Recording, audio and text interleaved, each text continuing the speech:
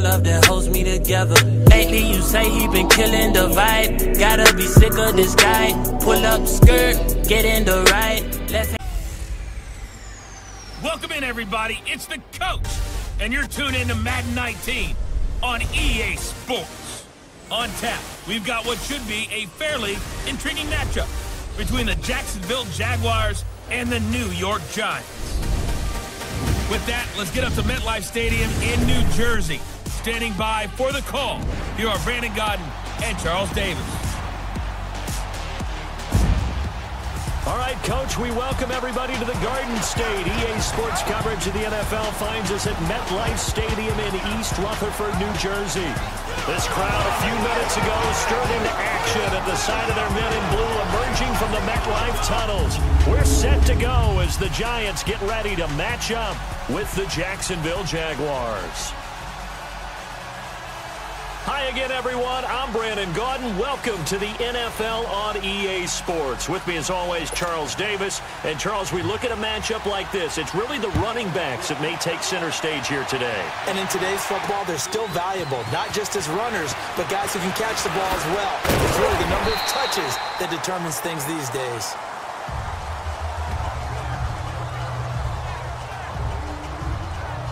So here are the Giants ready to start their initial drive of the game. It'll be the now 37-year-old quarterback calling the shots in his 15th season at the helm of the Giants, Eli Manning. When you look at the numbers that Eli Manning posted in 2017, there's plenty of cause for concern. Lowest yards per completion of his career, fewest yards passing since 2008. His numbers continue to drop in terms of touchdowns and rising in terms of interceptions. But he's one of the fiercest competitors in the league, even if you can't tell it by his demeanor. And no, you don't hear about his workout program like Tom Brady and Drew Brees. But this is a guy that burns to win and wants to get back on the top of the heap. They go play action here on first down. And he's going to drop this off to his fullback. And he's brought down after a good game. 23 yards on the play.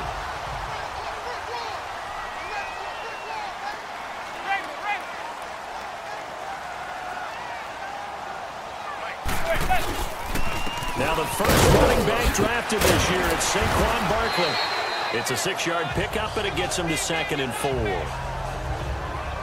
Let's talk a little football 101 here because one of the keys to advancing the ball downfield, success on first down. Huge difference, as we know, between second and four and second and eight and nine. Looking to throw on second down. Manning. Throw left side, complete to Ingram.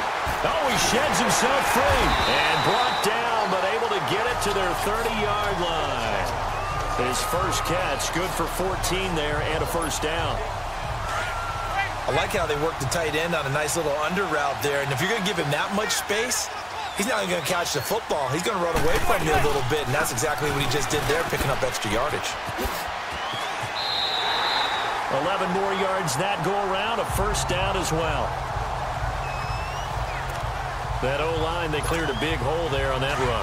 The athleticism of offensive lines continues to evolve, and we're seeing it here. Not only are they controlling things right at the line of scrimmage, but they're able to get upfield to get to what we call the second and the third levels. You know, get to the linebacker spot, the secondary spot, getting all the way downfield with their blocking, which helps keep the running back clean. They'll try to continue that trend here this afternoon. Seven yards, the pickup on the pitch and catch. It's Barkley on the counter. Oh, a good move at the five. And he couldn't quite get there. Tackled down at the one. It's a 10-yard gain there, and it sets him up now first and goal. And Barkley will try to punch it in. And they'll bring him down after just a short pickup. Only a yard on the pickup there. Second and goal. So second and goal, and standing by himself in the backfield, Barkley. He'll get it up the middle. And he is going to be stopped cold behind the line of scrimmage. They'll lose a yard, and it brings up third. So not much to speak of scoring-wise in this first quarter of play. Nothing, nothing our score. Alongside Charles Davis, I'm Brandon Gaudin, and it's the Giants with the football here as we begin quarter number two. And they'll come up looking to keep this drive moving.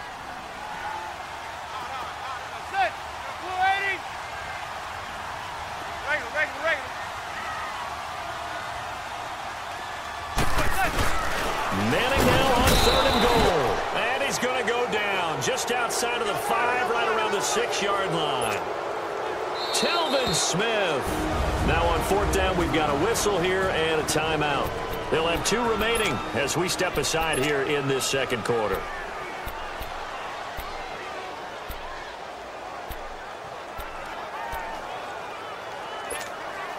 The offense stays out there.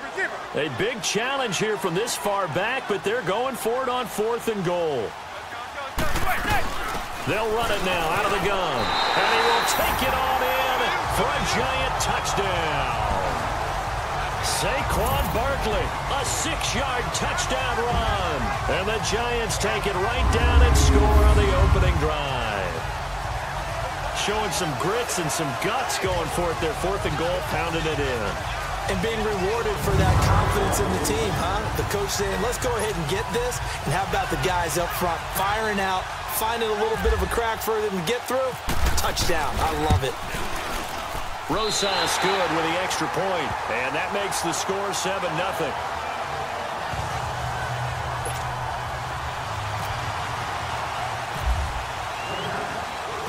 Rosas now to kick this one away. Fielded about a yard deep. And he'll take it back to about the 19-yard line. So here's the first drive now for the Jags. They'll be led out by their quarterback from Central Florida. It's Blake Bortles. And you can see why he was the number three pick when he came out in the NFL draft. 6'5", sturdy guy, strong arm, led his UCF team to a big bowl victory over Baylor, and runs the ball way better than he's ever given credit for. Bortles leads the Jags up first and 10 at their own 19-yard line. Fournette, a first down carry. And he'll get this one across the 20, but only up to about the 21. Tackle made that time by Dalvin Tomlinson. They'd love to just strike back with a touchdown right here, and if it's a long play, so be it. But the main goal, get a couple of first downs, run some plays, run some clock, allow their defense to get a chance to catch their breath, settle down. Heavy rush, and down he. Leading the surge there. He drops him for a loss of six. Two minutes remain here in the first half. We're back to East Rutherford, but first this time out. We remind you that coming up at halftime, we'll pay a visit to Jonathan Coachman. He's in Orlando, and he'll have our EA Sports halftime report. On third down, Fournette. And he's going to lose yardage here back to the 14-yard line. Now the Giants will use the second of their three timeouts.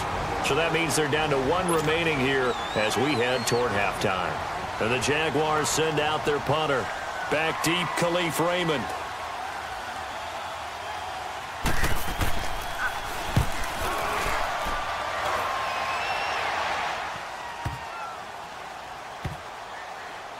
This is taken at the 18. They'll call that a punt of 59 yards. Tough to do better than that. And out will come the offense as they take over.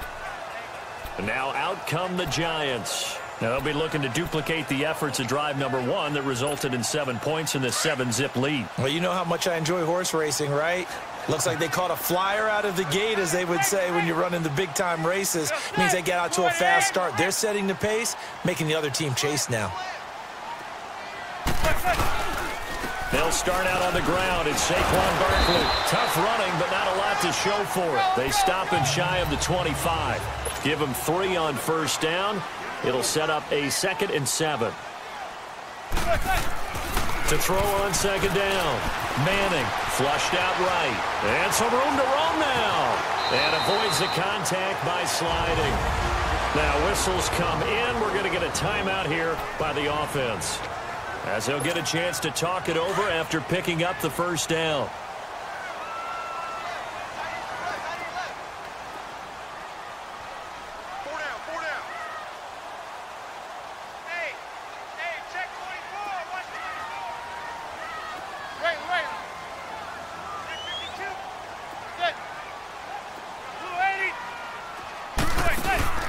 Play action.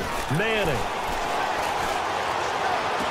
And he's going to be out of bounds, but able to take it inside the 40-yard line. 23 yards on the play. Looked like the defense put pretty good pressure on him, but he's able to flush out to his right to try and evade people. On the run, had to get on his horse. Still accurately throws a nice pass for a first down. Throwing on first down is Manning. Throwing the out route incomplete. That's Shepard. And he's going to get this inside the 30. 11 more on that one and another first down. Manning going to come up on first and 10. And he's a perfect 5 for 5 here to begin the game. On first down, Manning. It's a short one here, complete to the tight end. Another big gainer that time. This one goes for 19 yards his position, and he's listed as a tight end, but he certainly doesn't run like one, and that's what we're seeing more and more coming into the league. Those guys who can run, make plays after the catch, and gain that additional yardage. And using that speed there to turn it into a pretty nice little game. Again, it's Manning. And he will take it on in for a giant touchdown. Odell Beckham nine-yard touchdown grab. And the Giants are able to grow their lead. That score was not a game clincher by any stretch of the imagination. But the other team now has to be careful to not let this game begin to slip away.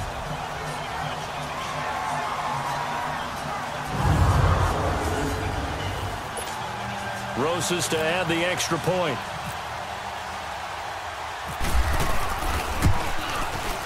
PAT up and good by Rosas. And that'll make the score 14 to zip. That drive goes 80 yards in six plays. And it was finished off by a touchdown by the New York Giants.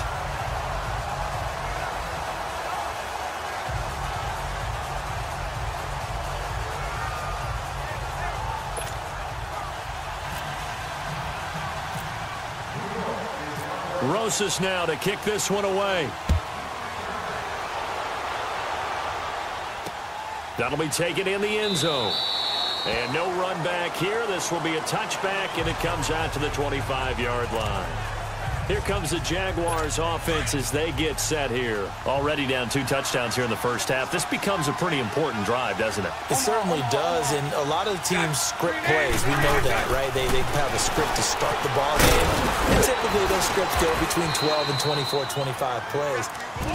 Down two touchdowns early, probably not very deep into their script. I think that they'll stay with it. I don't think they'll abandon it just yet and try and generate some offense on this drive. Anything. At least three points get that zero off the board. Now T.J. Yeldon. And he'll bring it up here to right at the 40-yard line. And now before this first down play, we're going to get a timeout here. As it'll come with 36 ticks to go in half number one. Green 80. Green 80. Throwing on first down is Bortles. And the giant rush gets home as down he goes. Dalvin Tomlinson able to drop him for a loss of four. Bortles to throw on second down. And that will be incomplete with a clock showing 18 seconds now to go. Let's face it, if you want to get back into the game, these are the kind of throws you got to hit. He's wide open right there. Got to be able to get it to him, don't you think? And those are the throws that haven't been available to them every time he's dropped a pass. Yeah, that's a big miss. And that is incomplete. Down to 15 seconds now.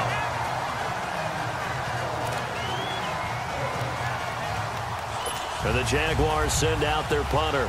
On for his second punt. He'd take a repeat of his first.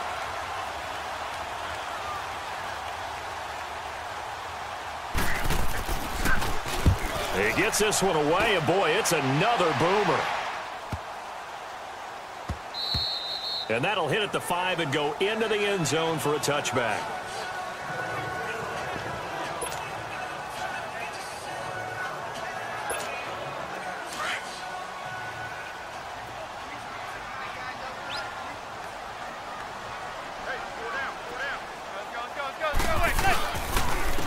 They start on the ground. This is Stewart. And he's going to get this one across the 30-yard line. So we've reached halftime here at MetLife Stadium with the Giants out in front. As we'll get you down the coast to Orlando for Jonathan Coachman and REA EA Sports Halftime Report. Coach!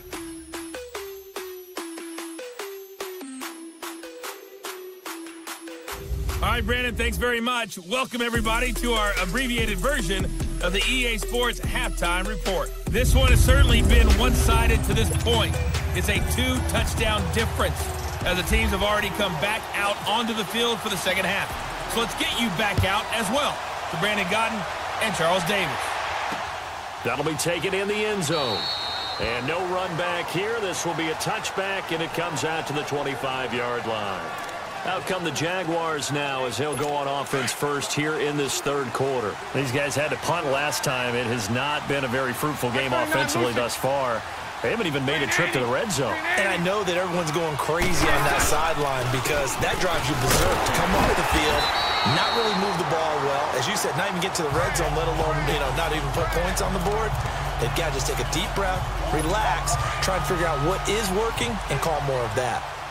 With the struggles we're seeing up front for the offense today, they've got to think about changing up their play calling. Some screens, some draws, some quick-hitting plays in order to try and supplement the run game. You don't totally abandon it, but you try and give it a little bit of help. It's a loss of two, now third down. The last catch took him two yards in the wrong direction, so now what can they do on third?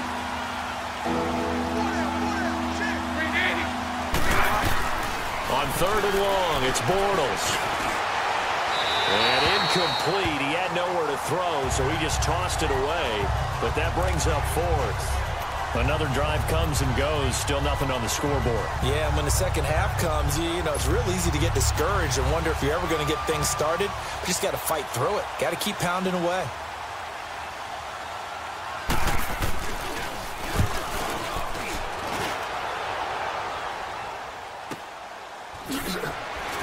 Oh, that's just not fair, and now room to run. A good return there, 17 yards.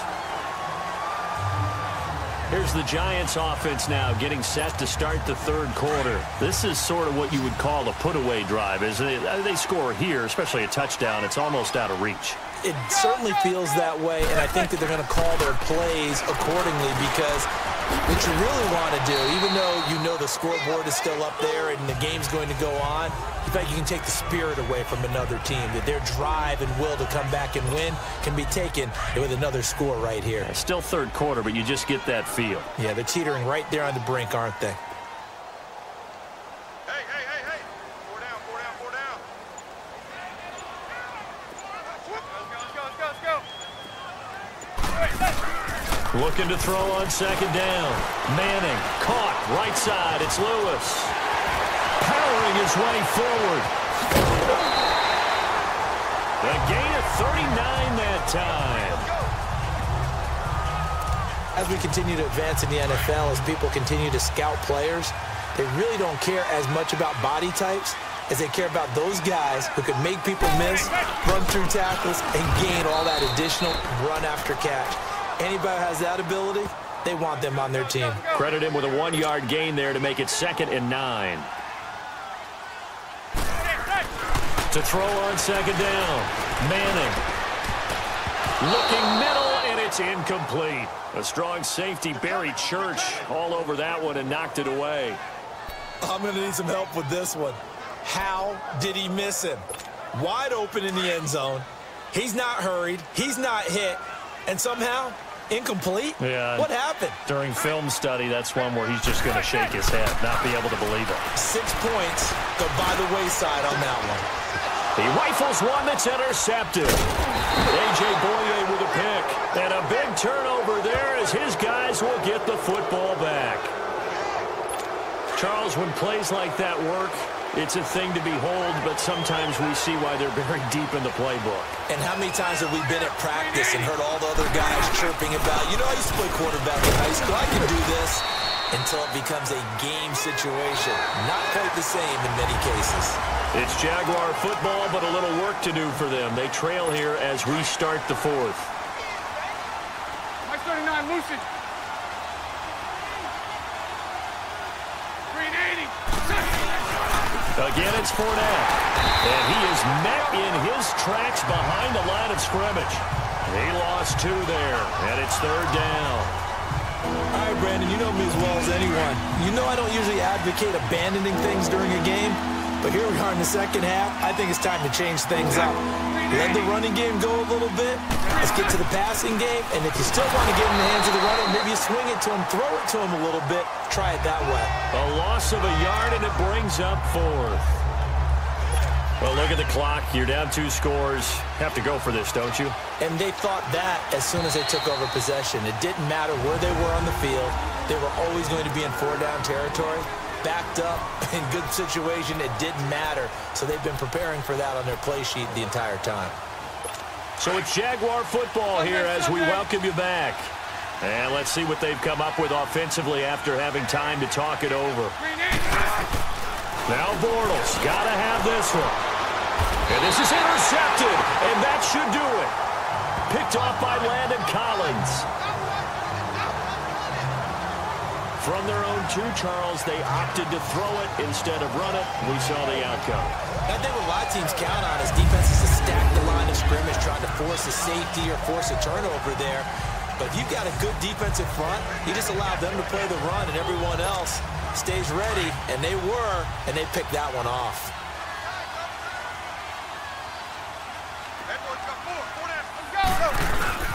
Here's a give to Barkley. And he's going to take this one down to about the 23-yard line. And now with 152 to go, we get another pause in the action. A timeout here defensively.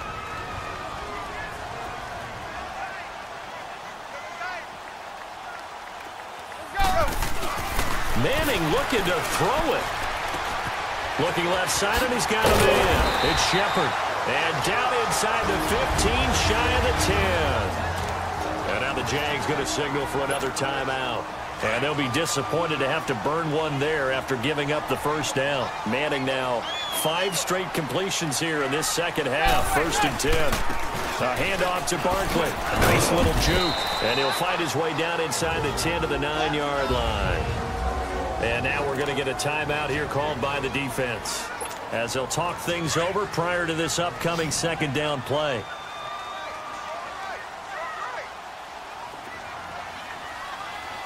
Zebra, zebra, zebra. Now a play fake. Manning. Flush to his right. And he will score. Touchdown, Giants.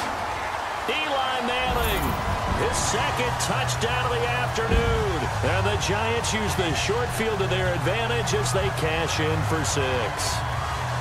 And maybe the defense caught a little by surprise there that he took off and got in? Yeah, I would think so because if you're analyzing it from that side of the ball, you're thinking running back, fullback.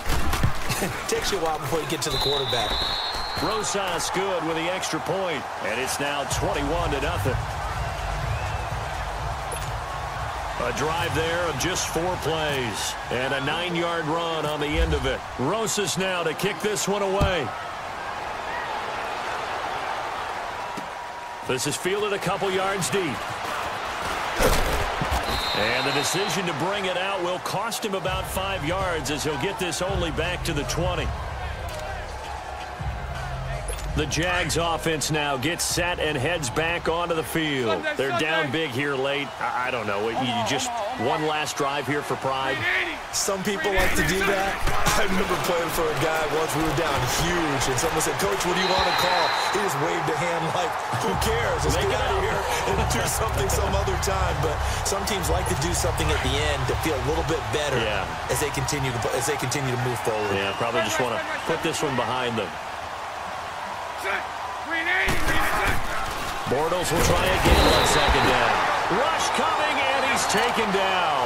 Alec Ogletree leading the surge there. He drops him for a loss of six. From the gun on third down, Bortles. He's going to let it fly. Now that'll be tipped and intercepted. Picked off by Eli Apple. Well, this defensive pressure has been constant all game long. The pass rush, the coverage, they've all been excellent, and now they'll tack on an interception here as this one continues to slip just further and further out of hand. They begin with a run by Barkley. And some room to work. Fancy footwork in midfield. And he's brought down after a good game. 23 yards on the pickup there and a first.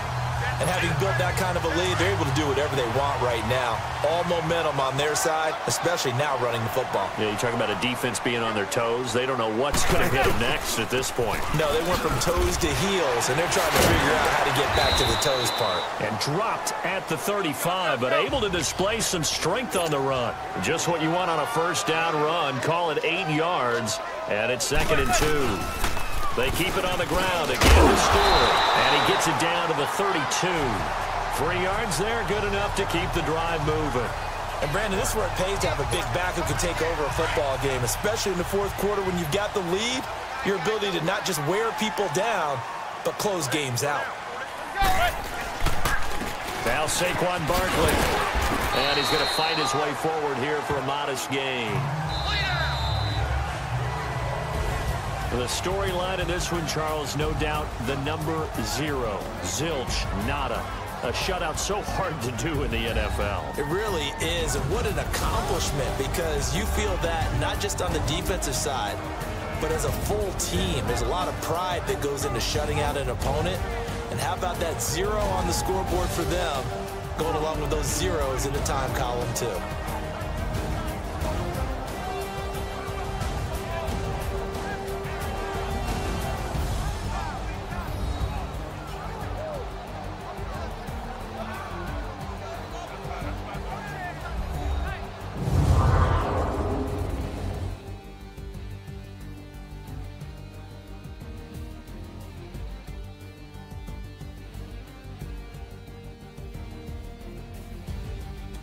That'll do it for us. Don't, don't play with it, don't be dishonest. Ay. Still not understanding this logic. Ay. I'm back and I'm better. I want you bad as ever.